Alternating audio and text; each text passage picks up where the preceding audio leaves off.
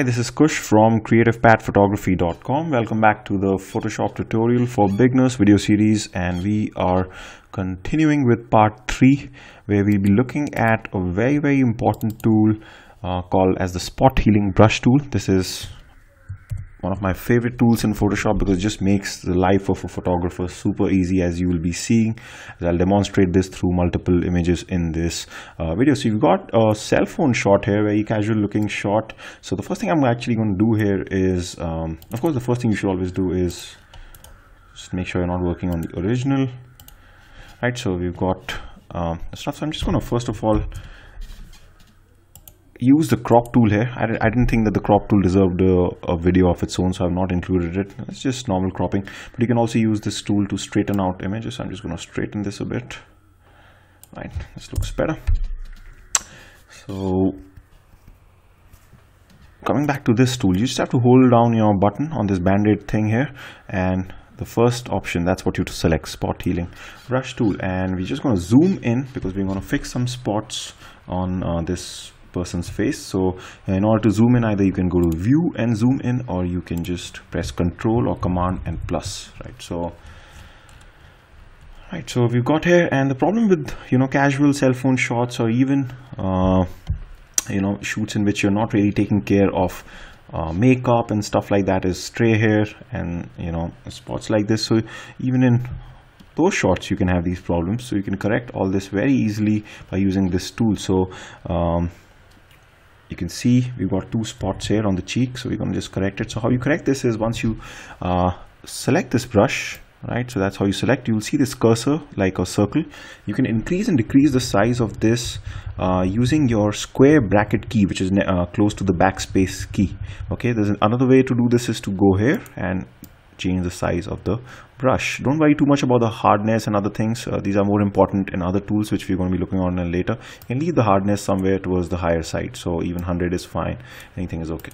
So uh, right. So once you have this now let's deal with this spot first right? So it's a small spot um, and how this tool works is very easy. All you have to do is just encircle the spot make sure that the brush is big enough to completely uh, you know cover the spot and then just click your mouse button and what Photoshop is going to do is is basically going to stitch in from the surrounding areas. So it's just gonna disappear right? So you can see how easy that was. Uh, let's say this is a bigger spot. So we're just going to increase uh, uh, you know increase the brush size a bit using the square bracket crease. And same procedure. Just press it again and it's gone right? Let's look for some other spots. When you're looking for spots like this it always helps to clean your make sure that your monitor is wiped clean uh, especially if you're a person like me who doesn't do this often doesn't clean things often. Uh, because sometimes you might just be clicking on something and it might just have been a spot on your screen right? So it does happen a lot. Uh, another way to just test that is to just move this around a bit and of course if the thing moves with the image then it's a spot on the screen. Okay so right so we have this little spot here we're just gonna correct it. You can use this for anything pimples birthmarks rashes scars it's just too easy right? And you can also use this for stray hair like this. So all you'll have to do in that case is you just have to drag it along like a line like this. So you can see it just goes away a little bit of a stray hair here. A little bit of a spot here. Okay. Maybe a bit of stray hair here. Yeah so you can see if I just hide this layer okay and if I show you the original you're gonna see this was our original and so unhide this you can be able to do a good job of removing these things. Now this is a cell phone shot so uh, megapixels are not enough so the details are not enough. If you have a proper DSLR shot here of course you're going to have more details so Photoshop will find it much easier to do this job and be the result will be even uh, better but my job is just to uh, show you. Right so that's one area you can use this tool for that's what its original usage is as the name suggests. For portrait editor is for portrait people it's one of the most favorite tools. Now we're going to use it even in a landscape image because what happens in a landscape image is uh, for example I've just put this image for you. You can edit this particular image with me. Uh, you can find this in the description of this video. So I'm just going to open this image. Just this. Create a duplicate. Okay. So you can see a, lot of times in your landscape images they're going to be people right? And sometimes not easy to ask them to move away. So they do end up coming in the frame. So this is a great tool to get rid of these people right? You can some, see some people here also. Next to the lighthouse we're going to remove uh, most of them okay? So let's get started with this guy. So I'm just going to zoom in a bit where he is okay so all you have to do now is just treat it uh, in the same way. All you have to do is just make sure that you're covering this person completely. So I'm not letting go of my mouse button. And boom so it's gone. Sometimes you may just uh, require multiple editing for this. You can see it just left some spots here. This is actually a good time. I'll just undo this. And this is a good time to actually probably reduce the hardness.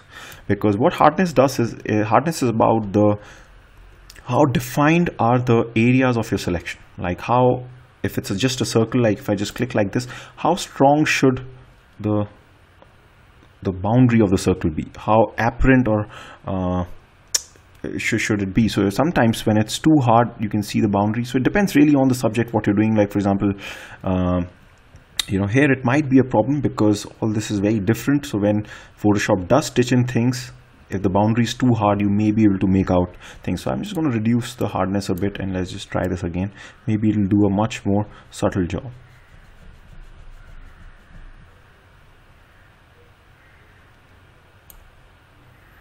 yeah so I think you can see this is slightly better. We can see a bit of a patch here so you can just run on it again like this. And uh, of course, if you have to nitpick, really zoom in 100% in this image, maybe you'll be able to see some things. But if you zoom out, and for most people, that should be good enough. And this was a bit of a tough edit because of the waves and all. A lot of times you'll find that it's very, very easy to remove people because the surrounding area is pretty much, uh, it's not that demanding. But sometimes it is, so I have another image for that too. Uh, these people should be easy. I've not tried this with them, but let's see. So if I'm just going to probably encircle them and just click yeah. So you can see maybe you'll have to just do it again. Right okay. Right so so you can see it's just pretty easy to use this tool and you know just get rid of small distractions. I'm going to show you one more image where another common problem is in landscape images is your wires. So of course this is not a landscape image. It's the first place I could find some electrical wires so I just took a shot. Uh, but you can use the same procedure here. You can just take your spot healing brush tool.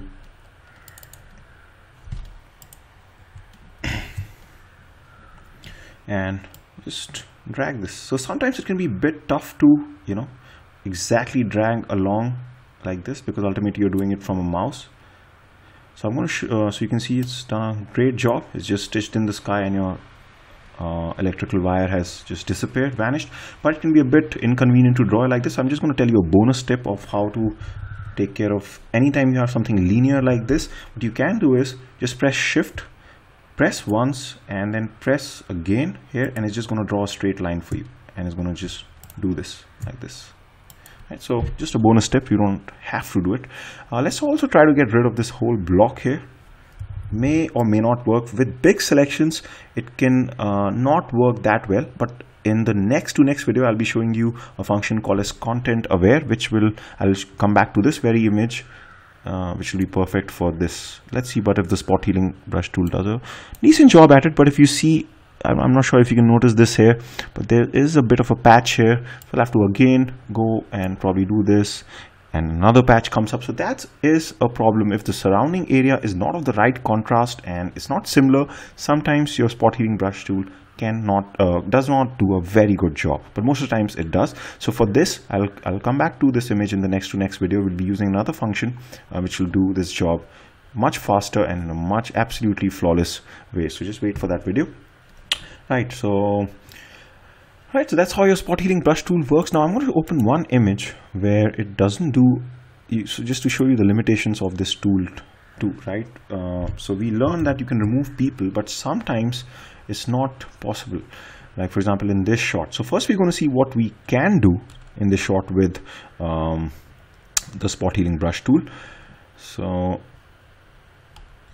so I've just this is a 30 second exposure and of course the problem with this is I'm not shooting these people. I was actually taking this shot and these people came. They had some wedding shoot or something going on.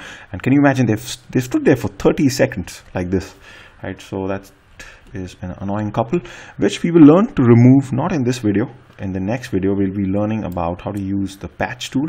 But in this video I want to just want to quickly show you how what will happen when we try to do it with the spot healing brush tool. But let's try to also fix what we can with the spot healing brush tool which are these lens flare like things that we've got. So i was not using a lens hood here and this was a very bright area a lot of lights here. Uh, so I've got this stuff here. So it's very easy to remove with the spot healing brush tool. Now here make sure your hardness is more because what's going to happen is once you once I click here it's going to stitch back these uh, purple sticks and these are hard. So we don't want a soft edge around them right? So let's do this and should do a good job. Now you can see maybe uh, it's not noticeable to someone who, who has not seen this image, right? So I'm not saying it's going to do a absolutely 100% job, but uh, it's, it's going to be uh, good enough. Another thing I forgot to do is just to duplicate this so that I could have shown you before and after. Okay, so anyway, so that was pretty much it.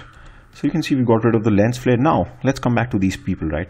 Now before I show you that, I just want to, right? So let's start with our spot healing brush tool and let's see if it will be able to do a good job. My guess is not because the surrounding areas are not uh, first of all they're pretty big and the surrounding areas are just maybe restrict us because it's not the same. Like now the sky is going to come in. So probably photoshop is going to think okay the sky here may be the right part and it's going to you know do this. So it's probably going to think that this area is also right. Since it was just surrounding this area so it has stitched a bit of this also here you can see. It's not doing a very good job right? So in the next video I'll be showing you how you can actually do this very very well using the next tool which is called as the patch tool right? So I'm going to be making that video pretty soon and I will see you in that video. I hope you like this. Uh, start using it in your own images. Practice with the images that I've given you and I'll see you in the next video. Bye for now